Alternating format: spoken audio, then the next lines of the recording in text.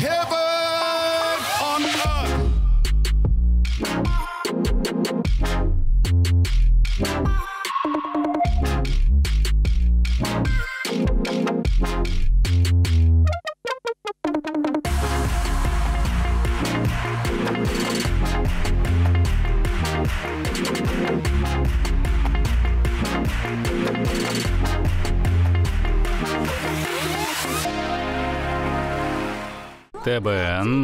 One Gospel, YouTube.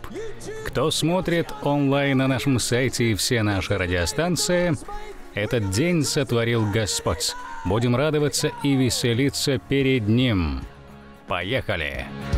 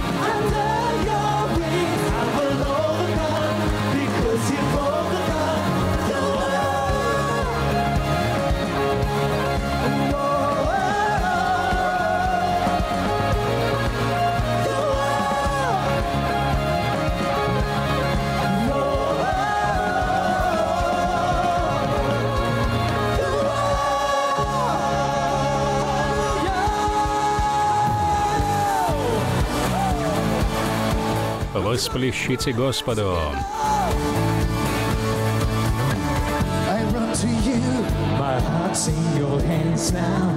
I'm not afraid with you by my side. I feel love, it's burning inside me deep down. You draw me close wherever I reach out. You'll always be the strength of my life hand will always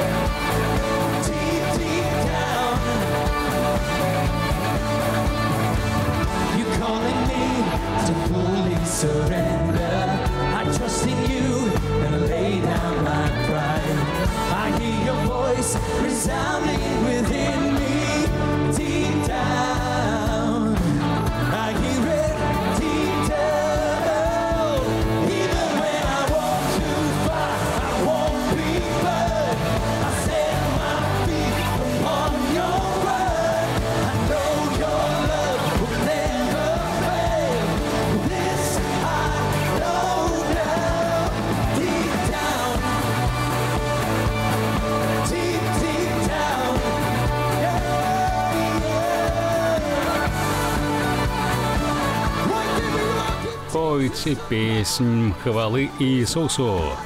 Он достоин.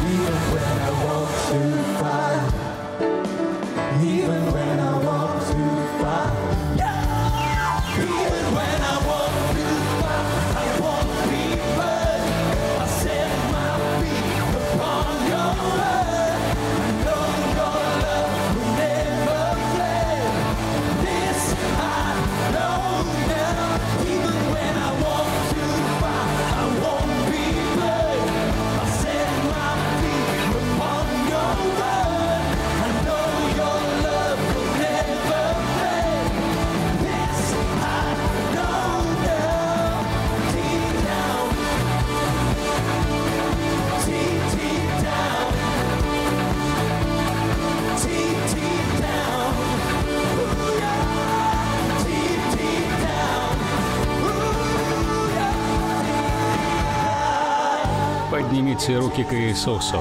Он царь царей и Господь господствующих. Аллилуйя! Мы воздаем Тебе всю славу. Вся наша хвала и поклонение принадлежат Тебе, Господь. Если вы сегодня нуждаетесь в молитве, наши пасторы ждут онлайн, чтобы вы могли связаться с ними и вместе молиться. Бог может восполнить вашу нужду и выйти вам навстречу, свяжитесь с нами, а мы будем продолжать поклоняться во имя Иисуса.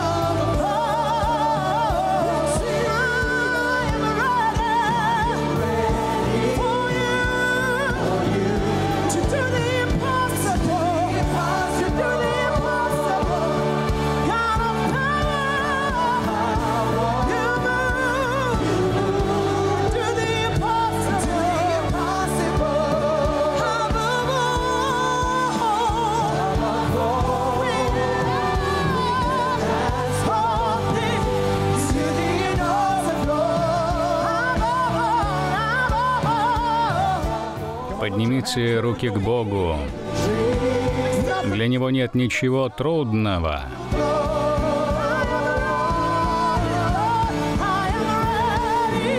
Вторая половина этого года будет великолепной. Подними свои руки и скажи, «Бог, я готов к тому, что Ты будешь делать».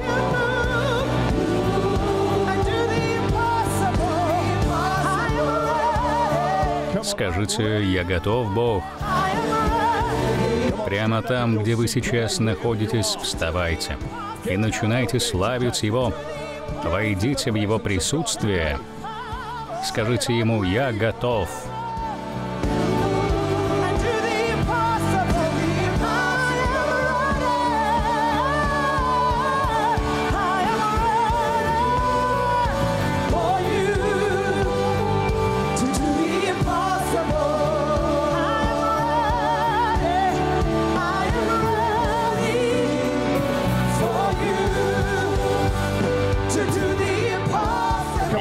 Готовы к тому, чтобы Бог начал делать в вашей жизни невозможное, громко прославьте Его прямо там, где вы находитесь.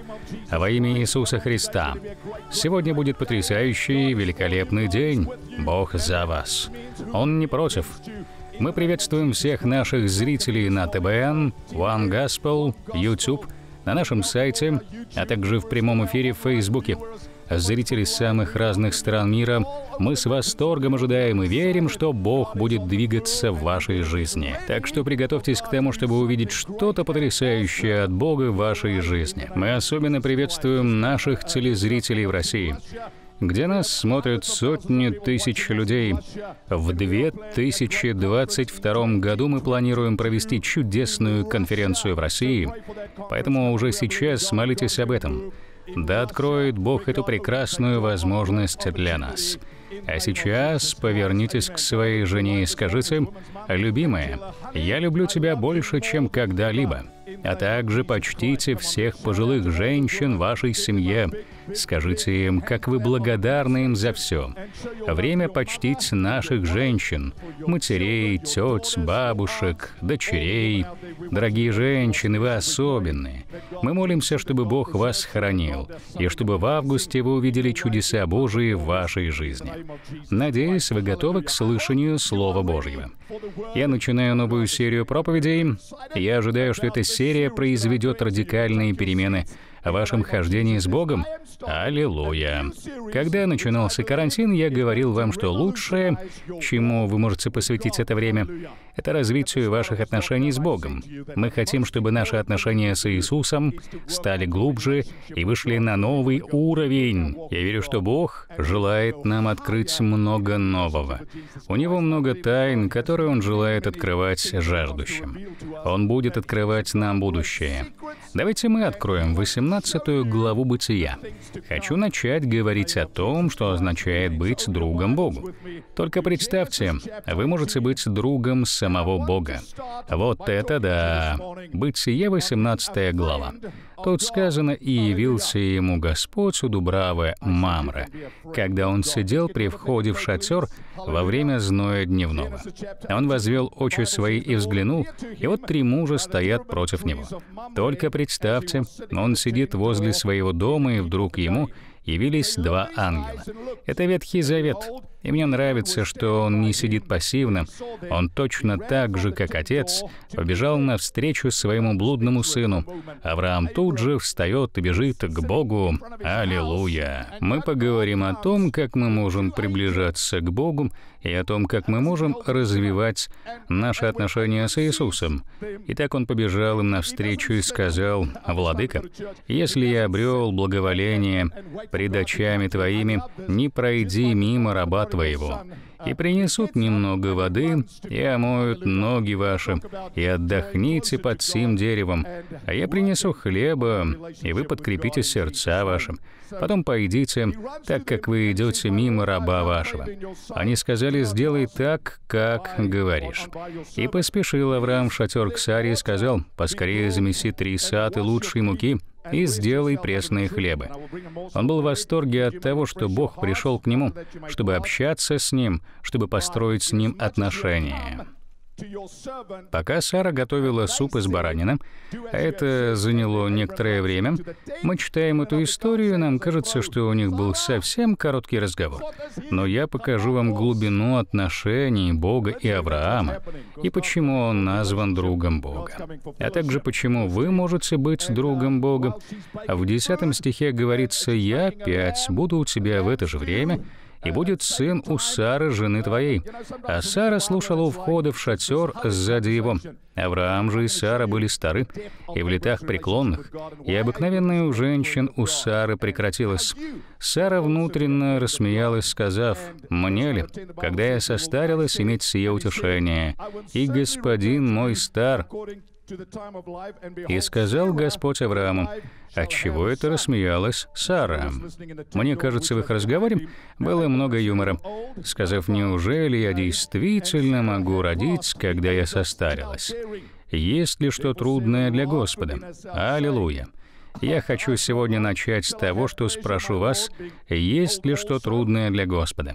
С какой бы ситуацией вы ни столкнулись, я уверяю вас, что для Бога нет ничего трудного и нет ничего невозможного. Потому что то, что невозможно человеку, возможно Богу. Богу возможно все. Бог выше вашей горы и сильнее вашей бури. С какими бы страшными препятствиями вы ни столкнулись, Бог сильнее. И даже если ваши обстоятельства выглядят как великаны, Бог сильнее ваших обстоятельств. Для Него нет ничего слишком трудного. Если веришь, встань и славь Его. Бог может обратить все ваши условия вам ко благу. Он может все изменить. Он сделает бесполезным всякое оружие против вас. Он Бог невозможного, так что скажите на это громкое «Аминь». Воздайте нашему Богу великую славу. Аллилуйя. Есть ли что трудное для Господа? В назначенный срок буду я у тебя в следующем году. И у Сары будет сын. Послушайте, братья и сестры, все обетования Божии для нас все еще да и аминь. Нет ничего трудного для Бога. Абсолютно ничего. Даже если врачи опустили руки. Бог есть Бог невозможного. У нас будет неделя пробуждения, и с понедельника мы будем говорить с вами о том, что Бог есть Бог невозможного. Мы увидим, как Бог вступается за вас и действует во благо вам идя впереди вас. Бог проведет вас и через долину, и через любой огонь. Нет ничего невозможного для Бога. Скажите на это твердое «Аминь». Сара же не призналась, а сказала «Я не смеялась», ибо она испугалась. На самом деле, она могла отнестись к этому скептично, потому что возраст ее был уже далеко не детородным. Но Бог сказал, что в следующем году у нее будет сын, и есть ли что трудное для Бога? Но он сказал, «Нет, ты рассмеялась?» И встали те мужи, и оттуда отправились к Содому.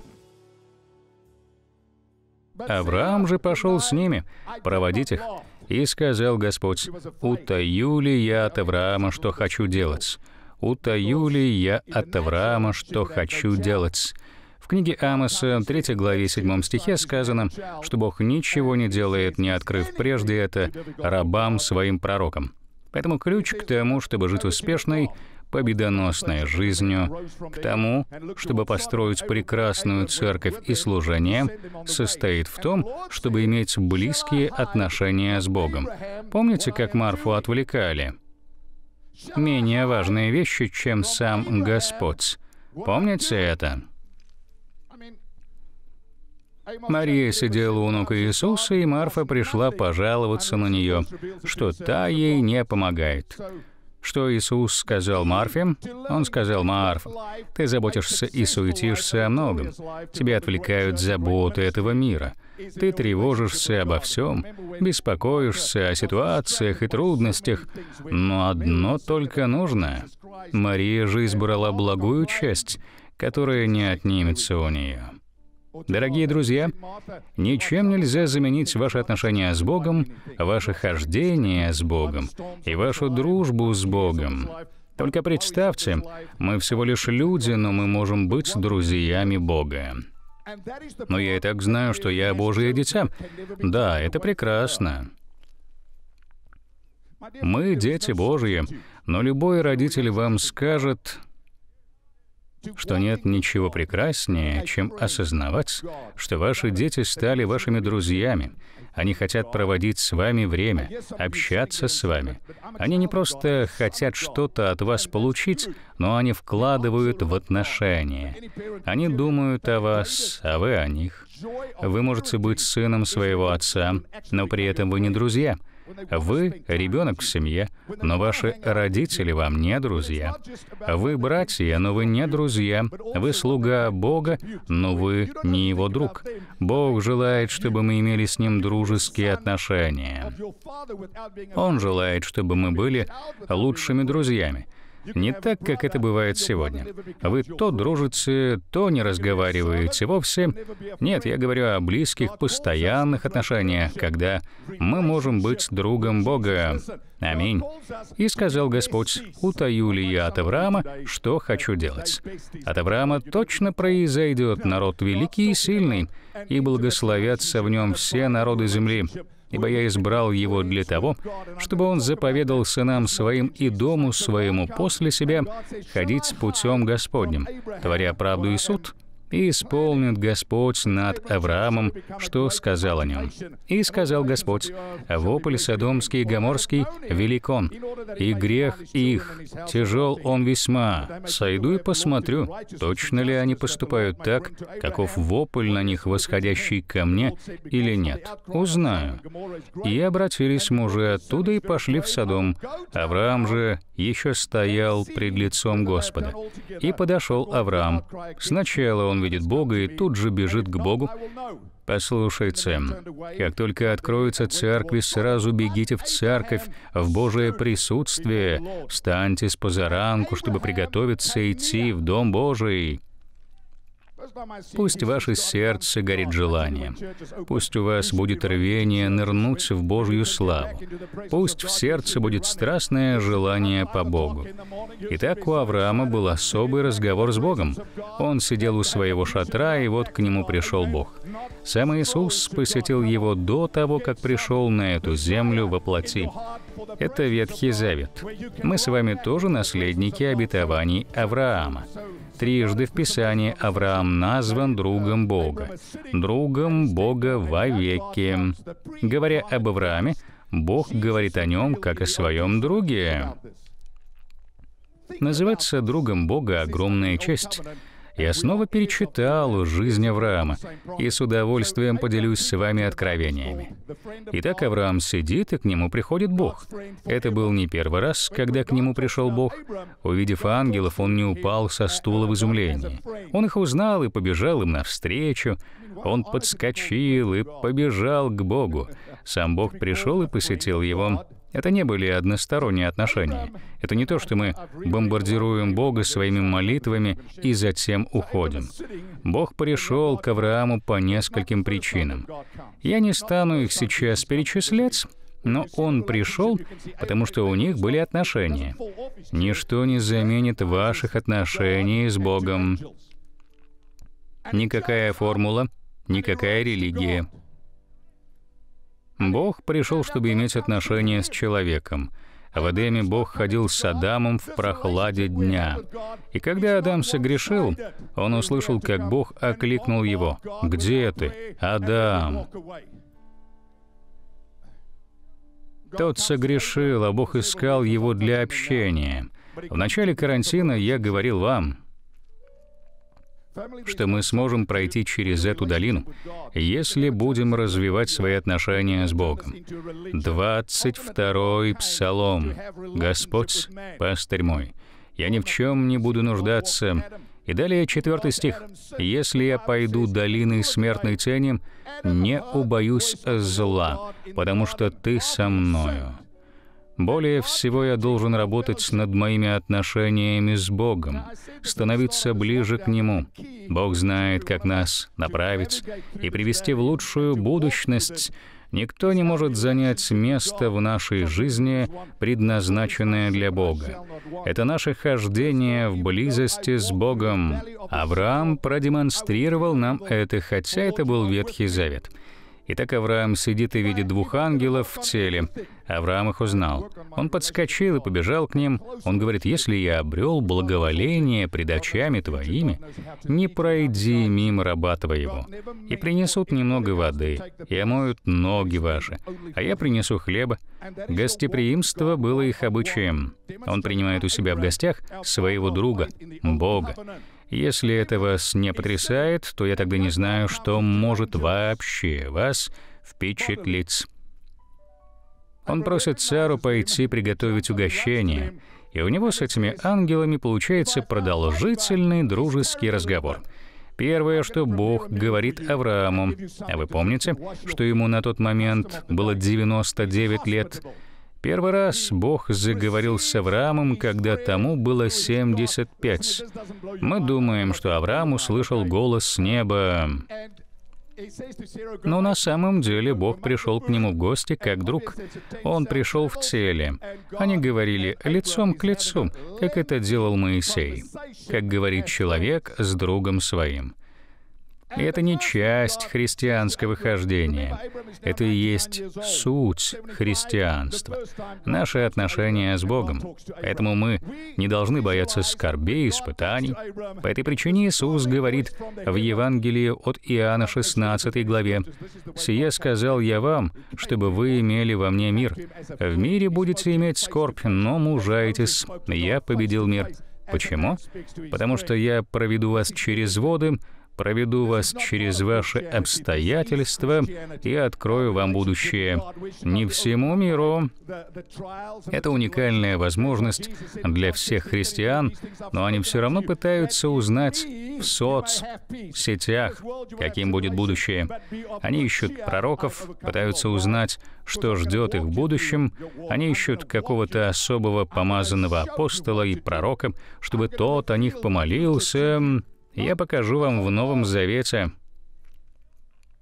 что не такой путь имеет для вас Бог. Бог желает, чтобы мы состояли в близких отношениях с Отцом, без посредников. Иисус стал мостом между вами и Богом. Он сказал в Евангелии от Иоанна, 14 главе, 6 стихе, «Я путь, истина и жизнь и никто не приходит к Отцу, как только через меня». Итак, первое, что Бог говорит Аврааму, когда они беседуют, в это время, в следующем году, у твоей жены родится сын. Друзья, послушайте, в следующем году все будет куда лучше.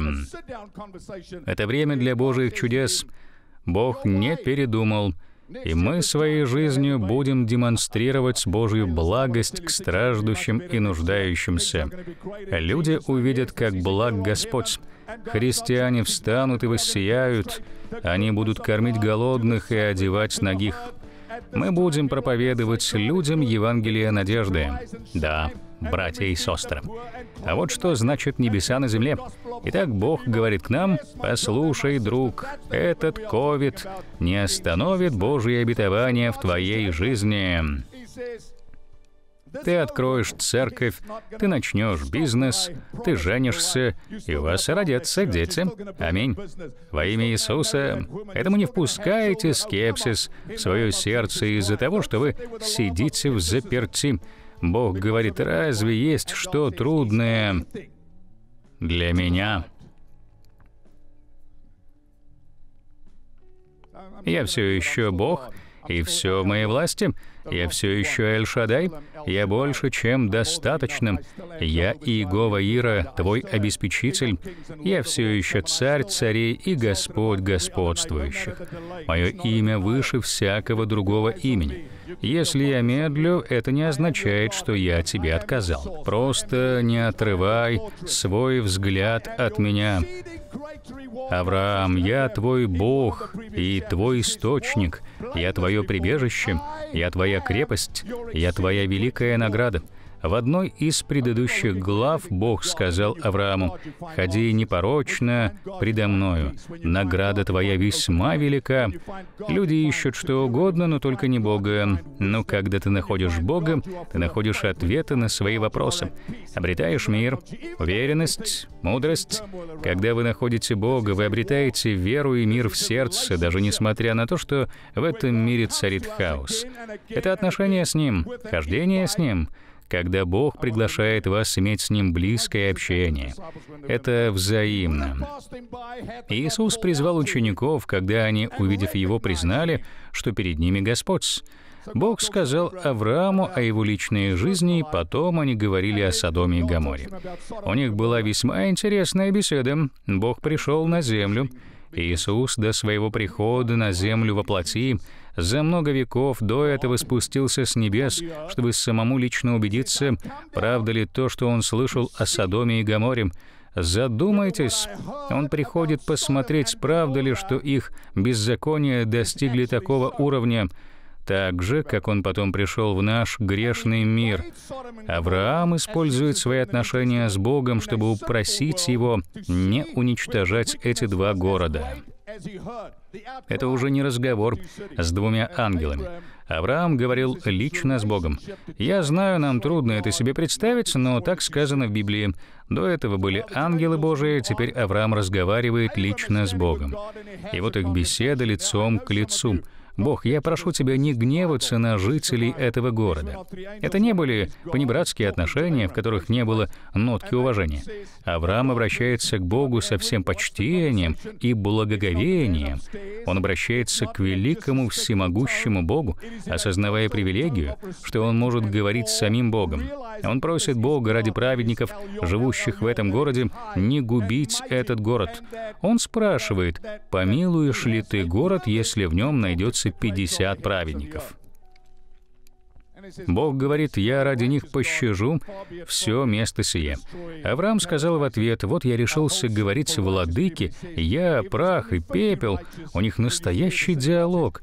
Это признак настоящих, зрелых, дружеских отношений. Послушайте, Авраам — друг Бога. Он пытается убедить Бога изменить свое решение. Это называется ходатайством. Некоторые считают, что когда мы говорим об отношениях между человеком и Богом, это как кукольный театр, когда Бог — кукловод. Но это не так. Когда мы достигаем зрелости в отношениях с Ним, Бог может спросить нас, «Что ты хочешь сделать в этой ситуации?» Однажды я молился Богу брать мне епископство над несколькими церквями или нет. И в ответ я услышал от Бога, «Это должно быть твое решение. Наши отношения должны возрастать». Поначалу мы, как младенцы, мы говорим «папочка», «папа». Когда я общаюсь с моими маленькими внуками, они уделяют мне секунд пять своего внимания. А потом их что-то отвлекает. Также и в церкви. Но когда мы возрастаем в зрелости с Богом, мы видим нашего Небесного Отца уже по-другому. Мы слушаем, размышляем, беседуем с Ним. Порой мы даже можем убедить Отца сделать то, чего Он не хотел делать. В 11 главе Евангелия от Луки Говорится о том, что когда мы настойчивы и не отступаем в своих просьбах к Богу, то поскольку вы сын или дочь Бога, у вас есть возможность двинуть руку Бога. Итак, Бог пришел с намерением уничтожить города. И вот Авраам начинает просить его помиловать город. Он торгуется.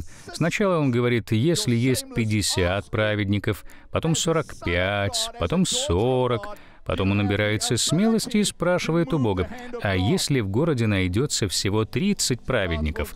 И затем он говорит, да не прогневается владыка, что я скажу еще однажды. Может быть, найдется там 10? Бог сказал, «Не истреблю ради десяти». Они закончили разговор, и затем Библия говорит, что Бог пошел в свою сторону, а Авраам в свою. А вот это да! Когда мы приходим в церковь, мы получаем новый заряд и освежение. Не думаю, что церковь можно чем-то заменить, но в то же время самое важное — это наши личные отношения с Богом. Вы понимаете, что христианином вас делает ваша способность слышать голос Божий?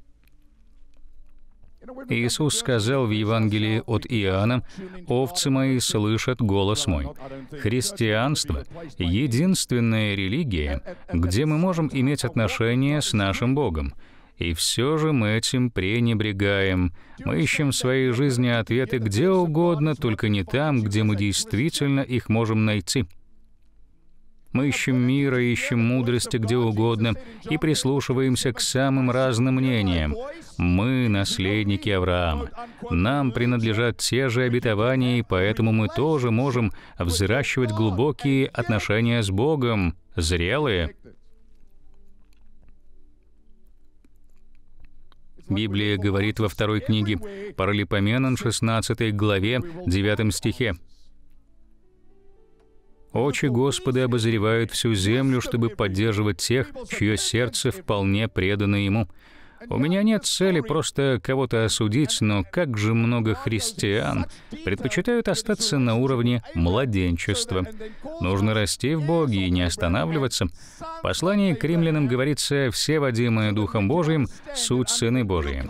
Здесь слово «сыны» означает «зрелые верующие в теле Христа», когда люди знают не только Божьи дела, но и Божьи пути, когда люди знают не только чудеса Бога, но Бога, творящего эти чудеса.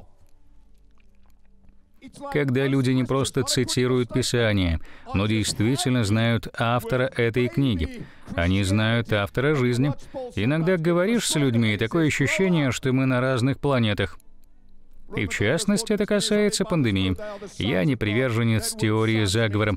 Некоторые ведут себя так, словно слишком много насмотрелись CNN. Мы совершенно по-разному смотрим на вещи. Бог не навязывает свое слово тем, кто его не ищет.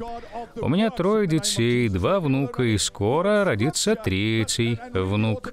Да, мои дети плодовиты, как говорится в книге «Бытия». Плодитесь и размножайтесь. Дети проходят период, когда их отношения со мной больше направлены в сторону угождения им. Им это удобно. Они закатывают глаза или наоборот пытаются мне угодить, и я знаю, они что-то от меня хотят. Если вы ходите с Богом, Он прекрасно знает, в чем вы нуждаетесь потому что друзья знают друг о друге все. Друзья делятся друг с другом своими желаниями. Они преданы друг другу. Поэтому, когда мы являемся друзьями Бога, это большая привилегия. Это огромная честь. Ты не относишься к Нему при этом фамильярно. Ты понимаешь, что ты всего лишь персть. Ты сотворен по образу Божьему, сотворен для общения с Ним — и у тебя есть привилегия иметь с ним близкие отношения, точно так же, как ребенок узнает об отце.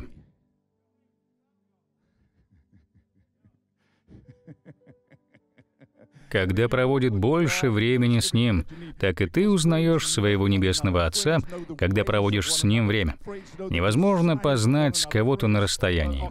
Бывает, что ребенок где-то там, а отец совсем в другом месте — но потом вдруг ребенок осознает, мой отец много значит для меня.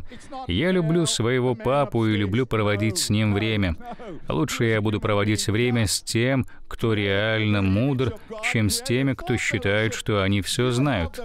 Когда мы изучаем Библию, мы видим описание многих поколений. Когда в пятой главе Бытия мы читаем о поколениях первых людей, иногда мы видим в тексте одну примечательную фразу «Он ходил с Богом». Бог нелицеприятен.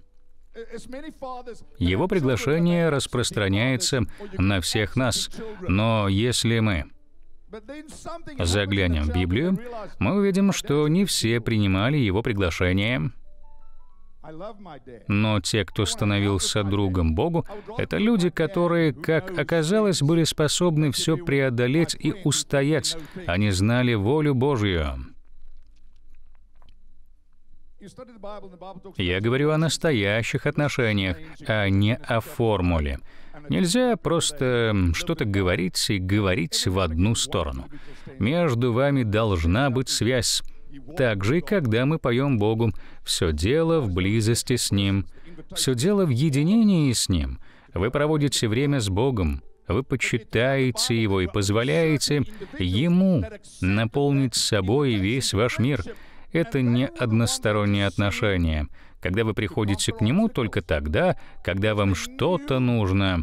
«О Боже, помоги мне с моим бизнесом», Вступись, сделай что-нибудь.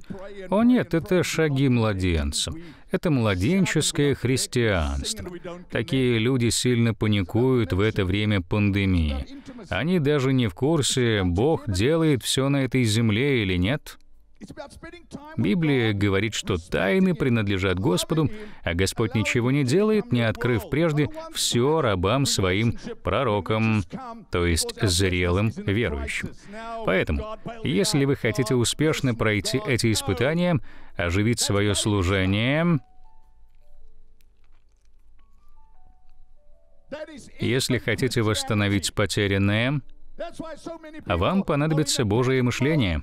А для этого недостаточно просто когда-никогда приходить к Нему, как ребенок, когда растет в семье. Знает, о чем думает отец.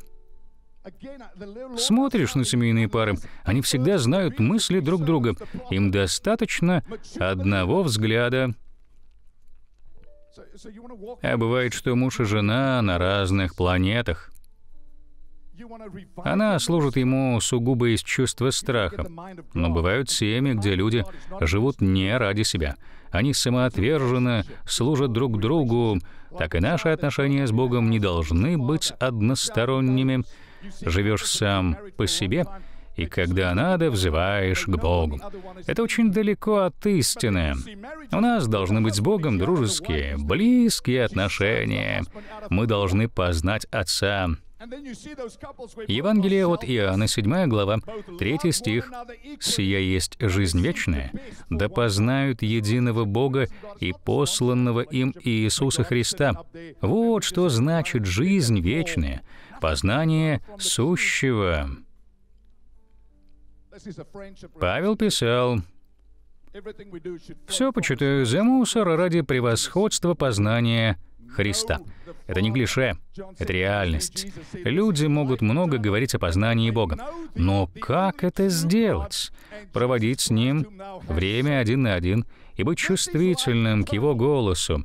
К примеру, когда вы лежите в постели или смотрите телевизор, вдруг вас накрывает волна Божья, и вы все оставляете ради того, чтобы провести с ним время. Именно так вы познаете его. Этого ничем не заменить, потому что мы будем познавать Отца всю вечность. И начинается этот процесс — в день вашего спасения. Люди сильно хотят разбогатеть. Они жаждут власти. Мир охвачен алчностью. Вместо того, чтобы искать самого главного — отношения с Богом, хождение с Богом и общение с Ним. Когда рождается ребенок, для него семьей становятся именно те, кто рядом, кто заботится о нем. И это могут быть и не биологические родители. Он узнает об этом потом, если захочет сделать тест ДНК.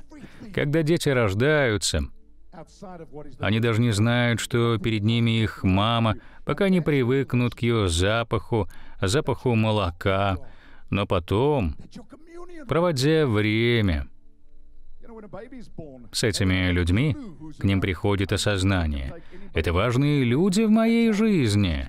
Они проводят время вместе, мама кормит малыша, а папа держит его на ручках и играет с ним. Однажды меня зацепило, я почти обиделся. Из-за карантина получилось так, что часть семьи была в одном месте, а мы в другом. Когда они вернулись, мой внук меня не узнал. Подумал, что я чужой, и меня это оскорбило. Ну, немножко.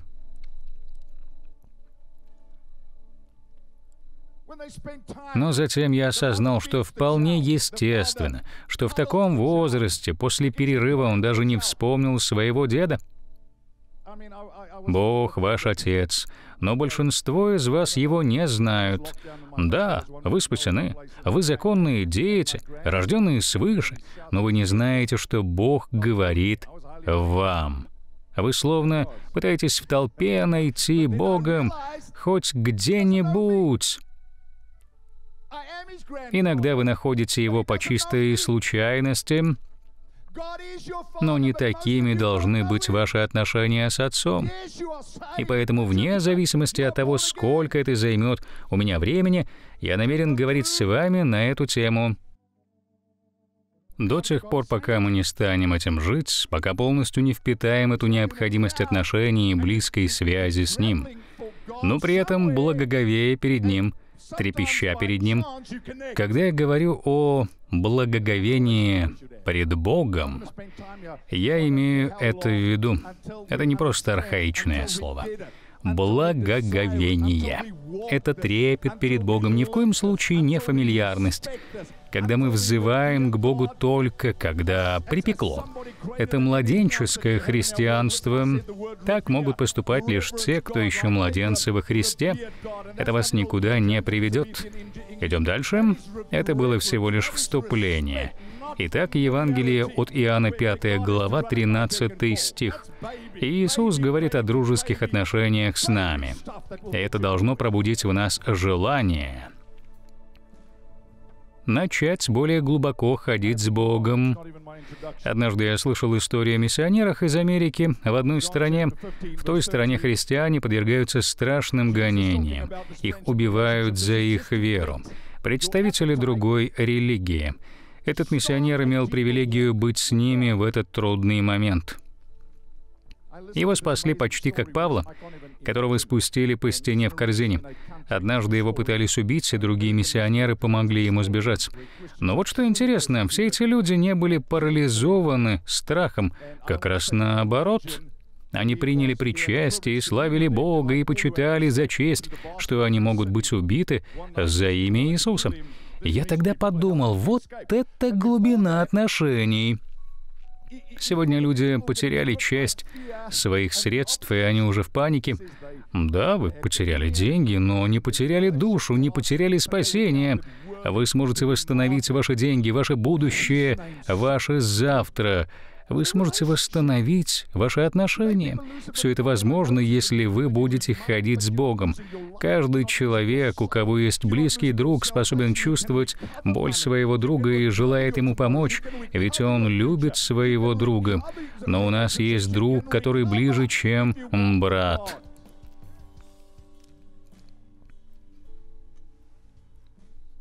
Его имя Иисус. И в Евангелии от Иоанна 15 главе 13 стихе сказано, «Нет больше той любви, как если кто положит душу свою за друзей своих». Это означает жить от себя, а не когда мир крутится только вокруг вас. Здесь нет места эгоцентризму, нет места материалистичной алчной жизни. Библия ясно говорит, если хочешь быть другом миру, то становишься врагом Богу. Нельзя одновременно быть и другом миру, и другом Богу. Нельзя искать популярности в этом мире и при этом быть другом Бога. Первый шаг в дружбе — посвящение. Не могут двое пойти вместе, если не согласятся. Есть правила завета, а они друг с другом в завете. Бог мог рассчитывать на Авраама, а Авраам мог рассчитывать на Бога. Это не были односторонние отношения.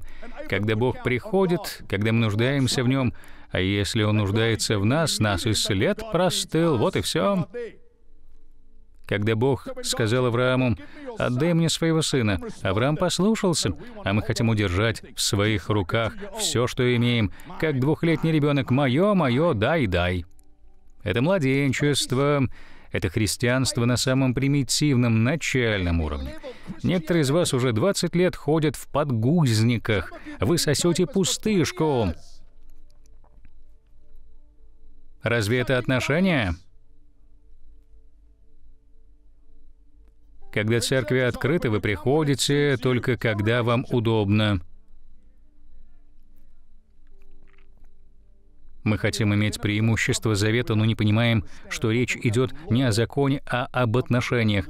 Это все равно, что вы скажете своей жене, «Я не под законом». Нет, вы в завете, вы состоите в отношениях. Вы уже не тот беззаконник. Вы принадлежите друг другу. Аминь. ТБН, One Gospel. Вы его, а он ваш. Вы хотите извлекать пользу из этих отношений, при этом не искать его самого как личность. А вот так это не работает. Пророк может сколько угодно размахивать руками и что-то говорить, но завтра вы снова запутаетесь, потому что не познали его. Вы не знаете Отца. Вы слышите меня? Возможно. Эта серия проповедей — самое важное послание, которое вы когда-либо слышали. Он говорит, «Я уже не называю вас рабами, ибо раб не знает, что делает господин его. Но я назвал вас друзьями, потому что сказал вам все, что слышал от отца моего». Почему люди так многого не понимают? Они в смущении. Почему? Если Бог является источником откровения и мудрости, то почему вокруг так много беспокойства и неразберихи? Потому что мы не проводим время с Отцом, чтобы услышать, что Он желает нам сказать. Это не самое тяжелое послание, но очень глубокое. Самое главное в нашем хождении с Богом — это наши отношения с Ним. Люди, которые имели отношения с Богом, смогли многое перенести и все преодолеть. Я говорю сейчас не о вашем спасении. Мы спасаемся по благодати. Я говорю о том, что мы должны ходить в победе и ходить в плане Божьем для нашей жизни. Вы должны быть сплетены вместе. Вот это и есть отношения. Может, вы говорите, я еще не сделал даже первый шаг. На днях моя внучка впервые пошла, это было великолепно. Мы тоже должны сделать шаг, а именно прийти к Иисусу, сдаться в Его руки и принести Ему всего себя без остатка, отпустить все. И вы можете сделать это уже сейчас, поэтому предлагаю вам, давайте мы помолимся вместе. Господь Иисус, я отдаю свою жизнь Тебе сегодня утром. Я открываю свое сердце и приглашаю Тебя быть моим Господом и моим Спасителем и моим другом, омой меня своей драгоценной кровью. Я верю, что Ты умер за мои грехи и воскрес из мертвых. Сегодня я посвящаю Тебе всю свою жизнь во имя Иисуса.